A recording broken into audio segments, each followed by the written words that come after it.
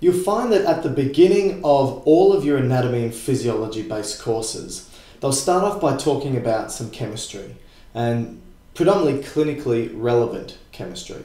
And one of the things in which you'll have to learn is something called diffusion. Now, the reason why you need to understand diffusion is because this is the way that all the useful molecules get into our body and get distributed throughout our body. And it's also the way in which the waste products or the metabolic byproducts that need to get out of the body are removed. So it's also the way in which drugs can be delivered to various aspects of the body as well.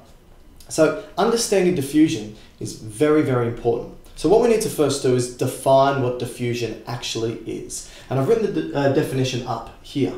Diffusion is the passive movement of particles from an area of high particle concentration to an area of low particle concentration.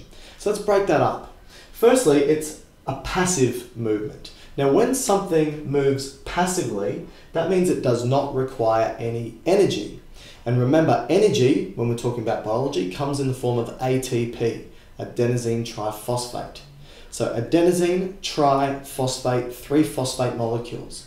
When you snap off one of those phosphate molecules, energy is released and some sort of work occurs. That's how ATP is used to create energy, or actually how ATP is used for some sort of work to occur.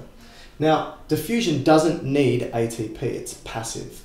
So if you have a look, it's when particles or molecules, so this could be oxygen, this could be glucose, this could be um, nitrogen. This could be any, basically any particles or molecules, whether it be gas or not gas. Particles move from an area of a high particle concentration down a concentration gradient to an area of low concentration. Let me give you a visual example. If I were to get a container of water and we were to drop a sugar cube into that water, that sugar cube contains a high concentration. It's basically just glucose. Glucose shoved in all together. So it's an area of high glucose concentration. Now, given sufficient time, what will happen? Well, those glucose molecules will start to move around. Now, you need to remember that atoms, all the atoms in our universe are moving. That includes the atoms in your body, that includes the atoms in the chair, the atoms in the roof, the atoms in your dog. They're all moving. Now, the degree in which they move determines what type of physical properties they undertake. For example, when they're moving very slowly and not very far, they usually take the form of a solid.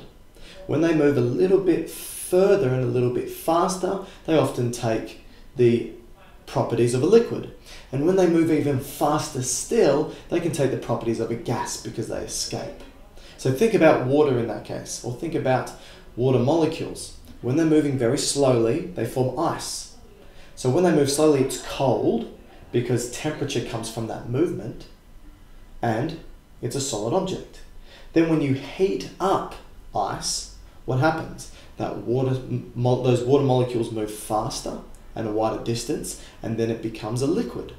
And then when you add even more temperature, the water molecules start to move faster still and they escape, and that's the gas. Okay, water vapor. So when you put this, these glucose molecules in, they are moving, but they're a solid, so they're moving not that much. But when you put it into a solution such, or a solvent such as water, they start to dissolve and the particles begin to escape.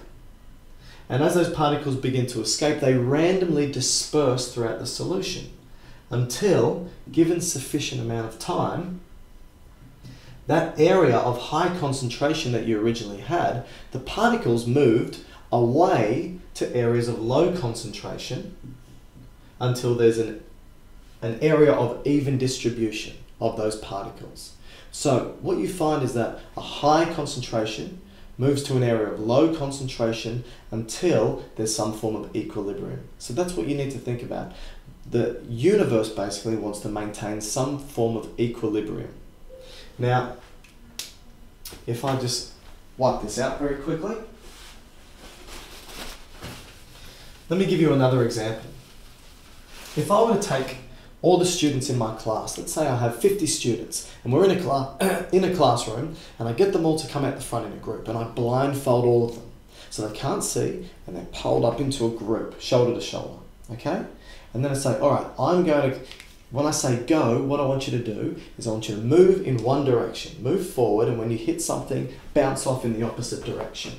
And do that for 30 seconds. What will you find? You'll find that over 30 seconds, if I say stop after 30 seconds and get them to take their blindfolds off, they will have moved from the area of high concentration to the area of low concentration randomly. And you'll probably find that they'll be quite evenly dispersed.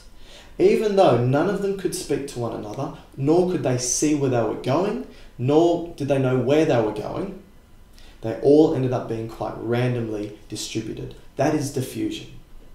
Now, with diffusion, because it's passive, passive movement will always go from an area of high concentration down a gradient to the area of low concentration until it's balanced out. The way I remember this is if this was a slide. Now, what do you have with a slide? You've got the ladder that allows you to get up the slide and then the slide going down. So, when you're at the top of the slide at the high concentration, what do you need to do to get down to the low concentration? Nothing. You let go. So, it costs you no energy to go from a high down to a low. So no ATP, it's passive movement.